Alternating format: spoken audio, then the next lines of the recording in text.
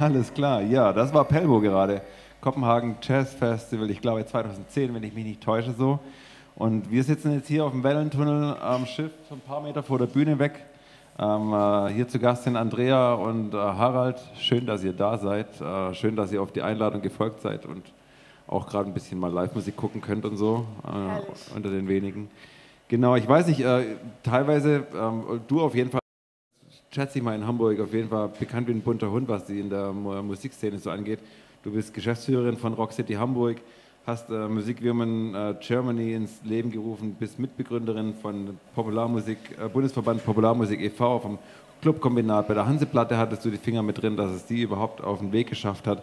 Sitzt in einigen Gremien drin äh, und bewegst hier, glaube ich, seit stabil 20 Jahren äh, oder vielleicht ein bisschen länger sogar, äh, hier 20 Jahre in, in Hamburg echt viel auf dem Weg, bist nebenbei noch Autorin, Kolumnistin, Dozentin, äh, Mutter. Äh, also da ist auf jeden Fall richtig viel los bei dir. Ähm, schön, dass äh, du hier bist und Harald, ich muss das ein bisschen ablesen tatsächlich, weil wer kann sich das merken? Ne?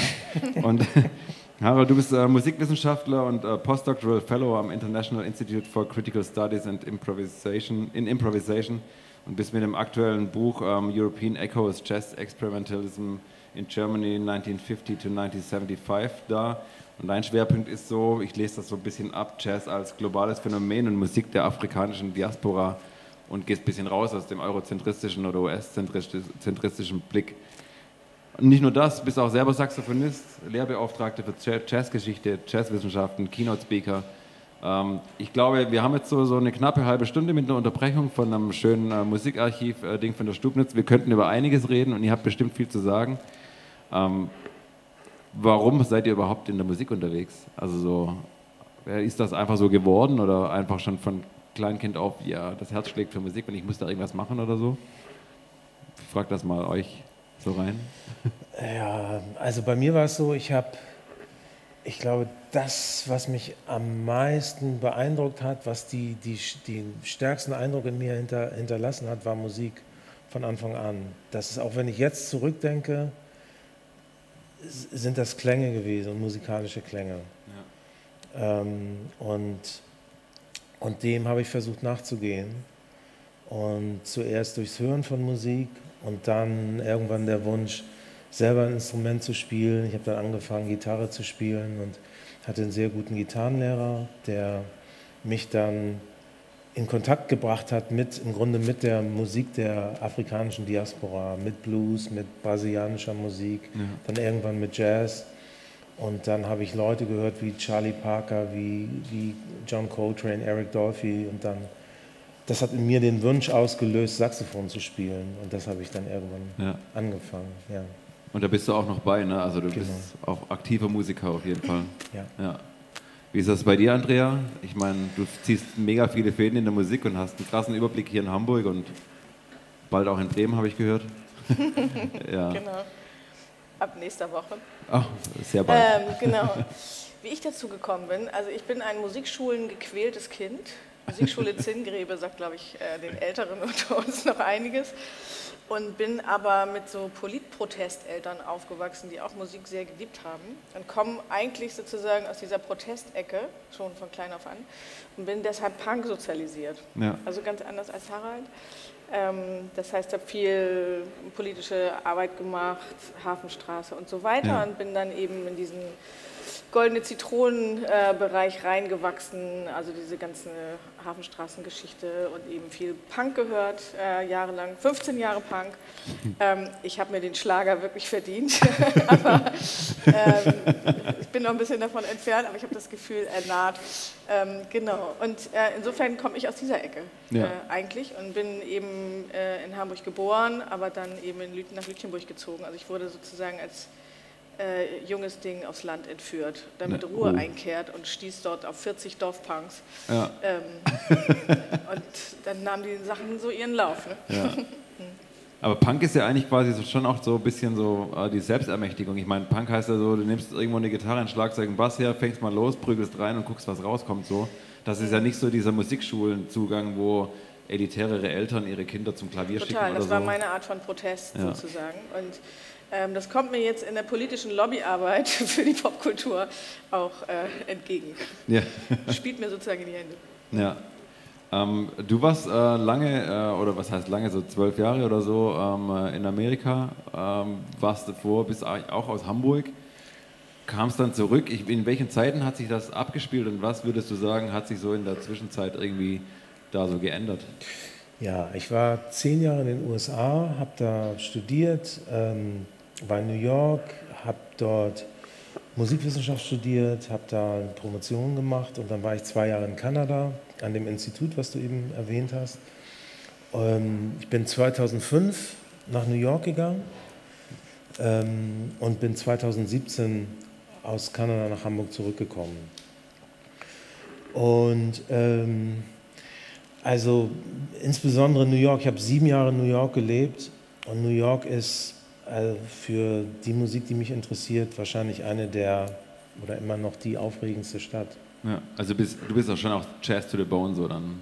Ja. Ja, und ähm, ich habe da, ich war in einem Umfeld, habe mich in einem Umfeld bewegt, wo ich mit ungeheuer interessanten, faszinierenden, inspirierenden Leuten zu tun hatte, sowohl im Rahmen meines Studiums als auch als Musiker, mit denen ich teilweise auch gespielt habe. Mhm. Und, ähm, und als ich zurückgekommen bin, ähm, habe ich, glaube ich, diese, äh, diese Vitalität und diese, ähm, ich glaube besonders im Hinblick auf die Musik.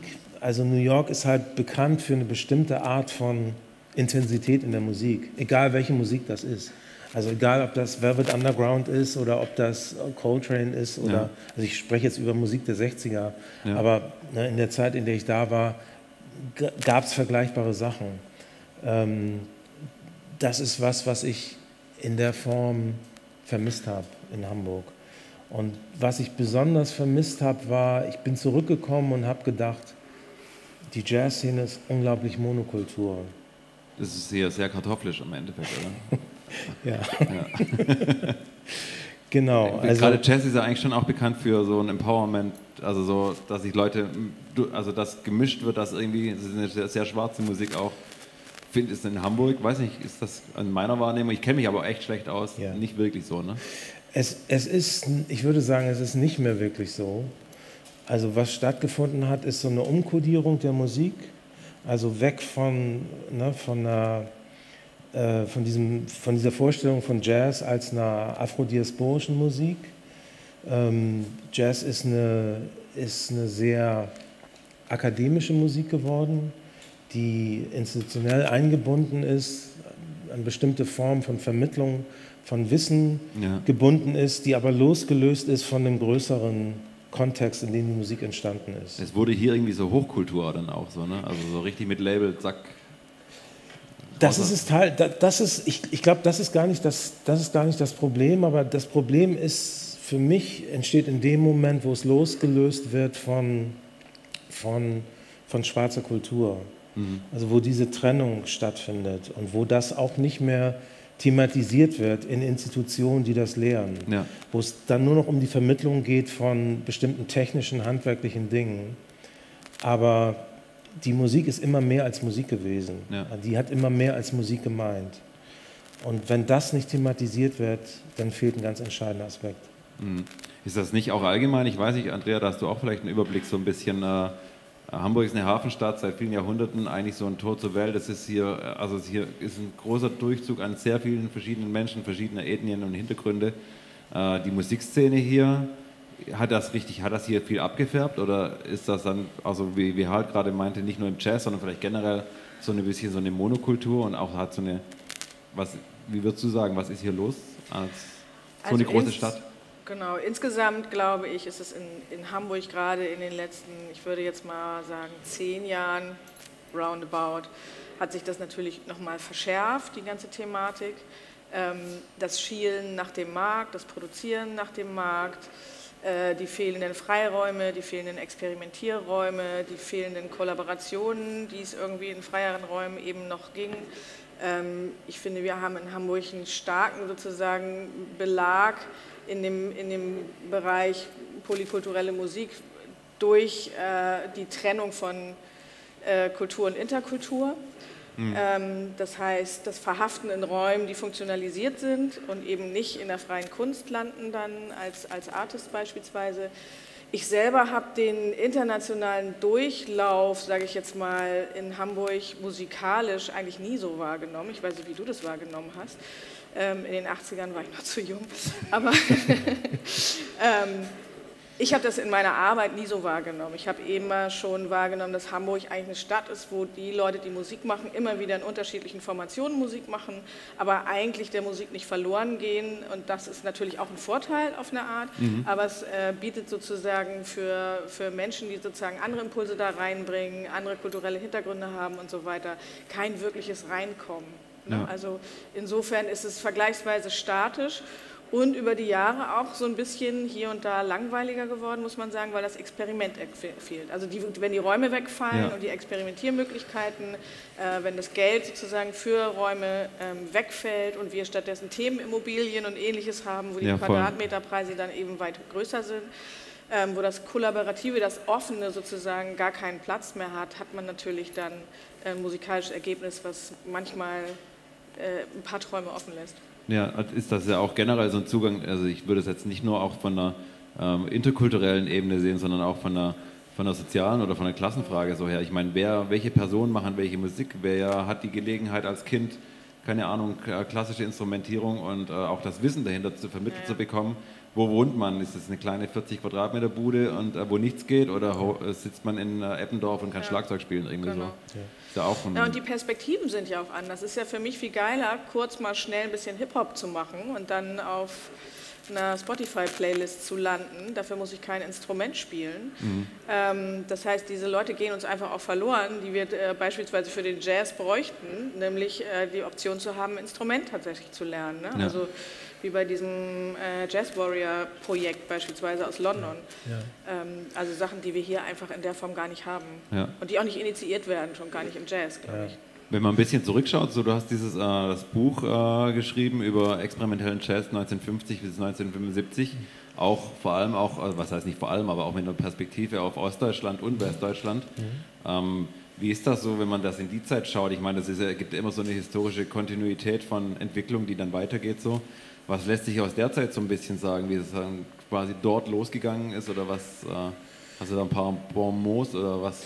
Ja, also einige der, äh, der wichtigen Leute im Hinblick auf experimentellen Jazz in der DDR, Leute wie Joachim Kühn oder Ernst Ludwig Petrowski, ähm, waren halt Leute, die sozusagen diese Verbindung zu dem schwarzen musikalischen Wissen hergestellt haben in ihren Lernprozessen und auch in ihrer Musik und die sich sehr gut auskannten. Mhm.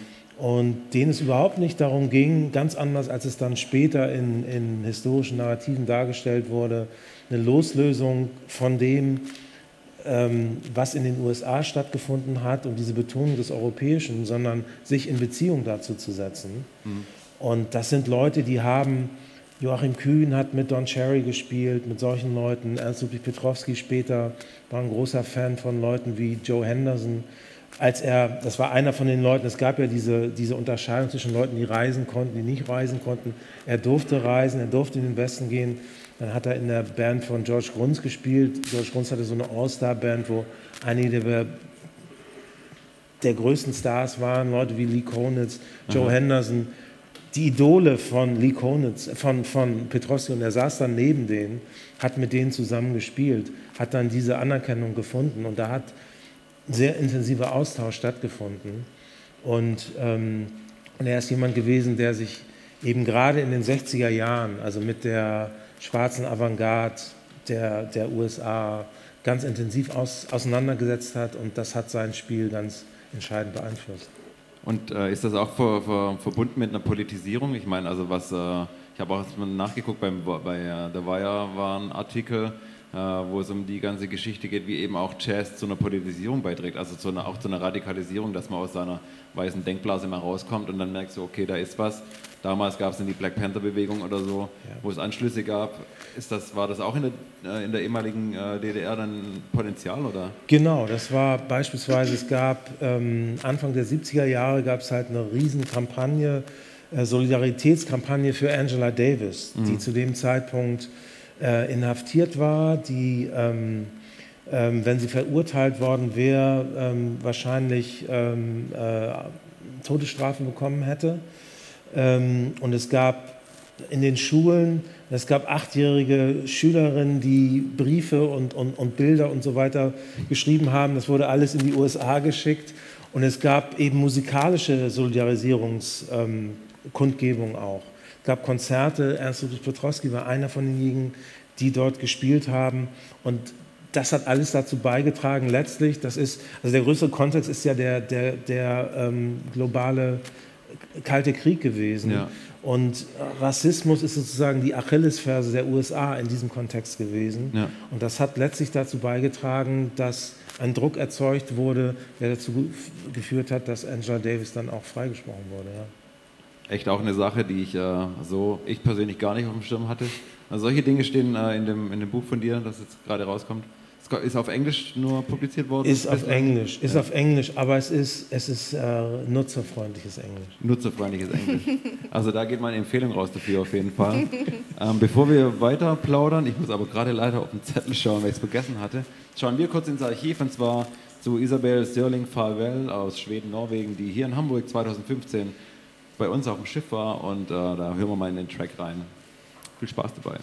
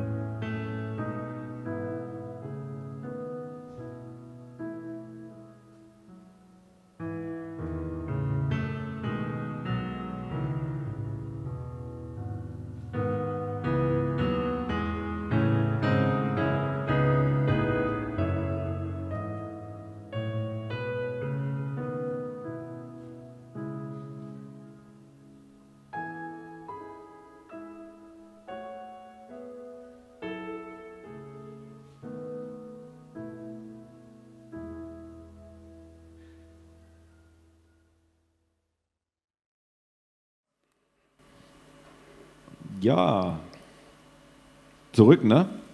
Wir sind zurück äh, hier im Radargespräch mit Andrea und mit Harald. Äh, wir hatten gerade eine kleine Pause, ein bisschen Musik gehört und ähm, auch so die Frage, wie es eigentlich so um subkulturelle oder um Non-Mainstream-Music geht, äh, im Gegensatz zu da, wo richtig Geld gemacht wird, zu kommerziellen Zwängen, zu ökonomischen Zwängen.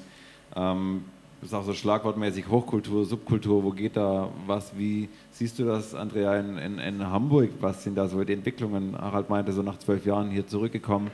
Es gibt ja hier auch so ein, eine Tendenz zur, wie die Arten noch weiter verstädtert und wie öffentliche Plätze oder wie auch äh, Clubs oder sonst was äh, verdrängt werden, rausgeschoben werden. Ist das nur ein Gefühl von uns Betreiberinnen und äh, von uns Machern, äh, die da drinstecken? Oder ist das auch so dein, deine Übersicht, die du hast über, über Rock City und so?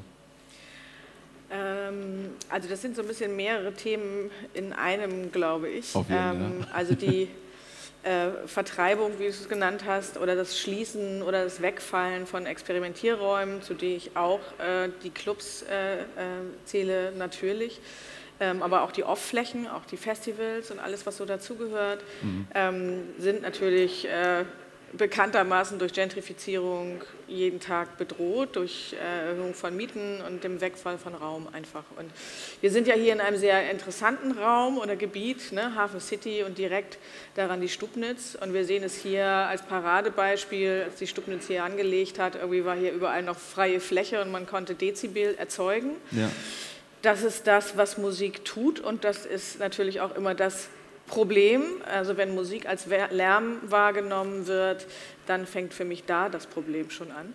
Ja. Das heißt, wir fallen immer unter das Bundesemissionsschutzgesetz, so wie ihr jetzt hier auch. Wenn dann auf einmal äh, Häuser gebaut werden, die, ich war Luftlinie 10 Meter äh, von hier jetzt entfernt sind und die eben ihre 6000 Euro für, pro Quadratmeter zahlen und mehr und die natürlich dann Anspruch erheben auf äh, den Luftraum. Das die öffentliche Stille. Genau, auf die Anspruch auf die öffentliche Stille.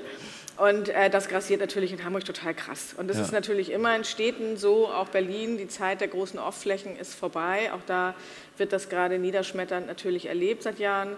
Ähm, aber in Hamburg haben wir das eben schon länger. Wir haben in Hamburg eine Konzentration sozusagen auf den, auf das, aufs Zentrum, was das äh, Produzieren von Dezibel angeht, weil in den Anrainer Stadtteilen das schon lange verboten ist und es dadurch natürlich viel weniger gibt. Ähm, also wir sind irgendwie, wenn wir zurückblicken, von, ich glaube, Eppendorf nach Eimsbüttel gezogen und dann über St. Georg nach St. Pauli, in Anführungsstrichen, und in Eppendorf geht gar nichts mehr, also ja. was Dezibel angeht oder Winterhude und all diese Stadtteile. Also insofern konzentriert sich das hier sehr und deswegen sind wir auch irgendwie sowas wie so ein gallisches Dorf hier auf St. Pauli, sage ich jetzt mal, oder in ja. Mitte. Ähm, und das ist natürlich extrem bedauerlich. Ne? Und wir brauchen diese Räumlichkeiten, um neuen Nachwuchs zu produzieren, um Dezibel zu produzieren. Wir wollen das nämlich. Für uns ist es ja kein Lärm. Und äh, wenn das wegfällt, fällt ganz vieles andere auch weg. Dazu kommt äh, die kom komplette Veränderung der Wertschöpfungskette in der Musik.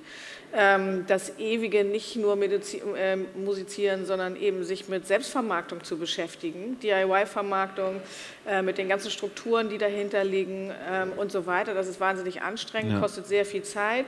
Gleichzeitig haben wir Ganztagsunterricht in Anführungsstrichen in den Schulen, sodass nicht mehr so viel Zeit ist, um ein Instrument zu lernen, was man eigentlich müsste, um dann äh, in, den, in, den, in den, ich sage jetzt mal, in die Wertschöpfungskette irgendwie auch einzusteigen. Also es ist natürlich irgendwie so ein äh, multilaterales Problem, was wir hier haben und was in, in Hamburg immer wieder natürlich auch stark zuschlägt. Und jetzt in Zeiten von Corona merken wir das natürlich super krass. Das, ist nur, das ist, interpoliert das ja nur mehr. Als genau, eh jede Krise, so. ne, da wo es stinkt, vorher schon gestunken hat, explodiert es jetzt halt so richtig. Ja.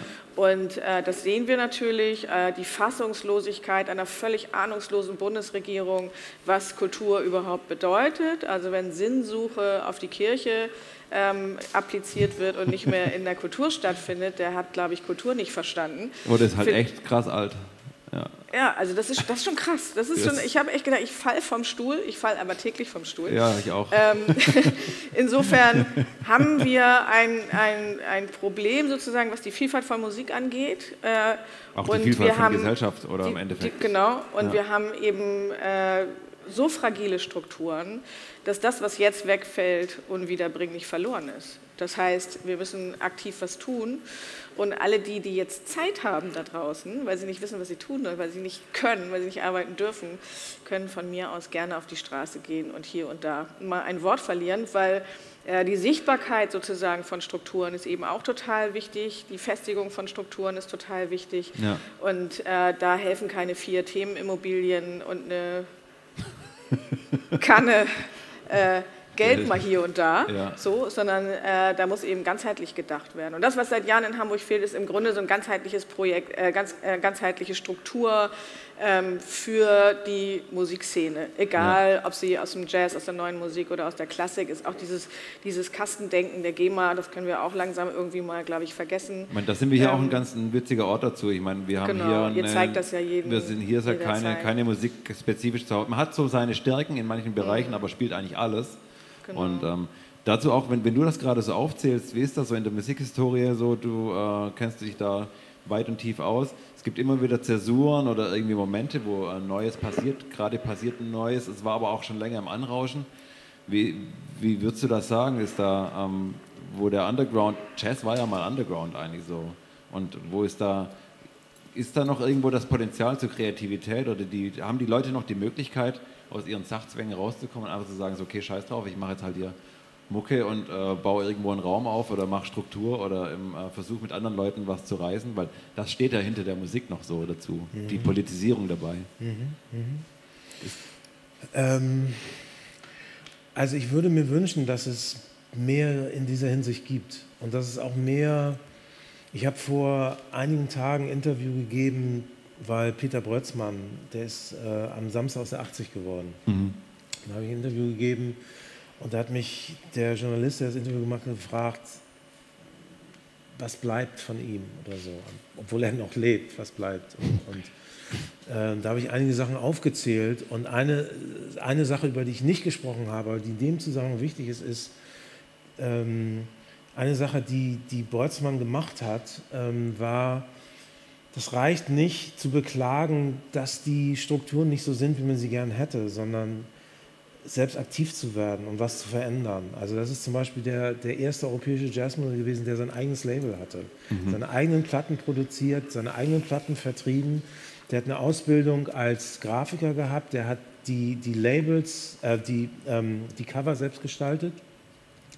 Der hat ähm, weil die sozusagen Leute, die Musik gespielt haben wie er, nicht wirklich repräsentiert waren in größeren Jazzfestivals, ein Gegenfestival auf die Beine gestellt, all diese Sachen gemacht. Und dieser Ansatz, ich glaube, das ist was, was, ähm, was wichtig wäre, was vielleicht so ein bisschen fehlt auch und wo Leute vielleicht heute auch zu sehr darauf hoffen, dass da Strukturen schon da sind oder geschaffen werden, die ihnen dann dazu verhelfen, bestimmte Dinge zu machen, das anstatt ja, die selber umzusetzen. Ja. Du meinst damit auch so eine Art eine, eine Consumer-Haltung zu sagen, okay, da draußen ist das Zeug, wenn ich Bock habe, gehe ich hin, ansonsten äh, mache ich meinen Privatkram und engagiere mich halt nicht. Genau. sondern nutze das, wenn ich Lust habe und Laune habe. So. Ganz genau. Aber ich merke, dass sich das zum Beispiel jetzt nochmal durch Corona ein bisschen verändert hat. Ja. Also ich muss nochmal so ein bisschen in die Bresche springen, weil wir ähm, auch hier in Hamburg sozusagen Strukturen haben, in denen das so ist.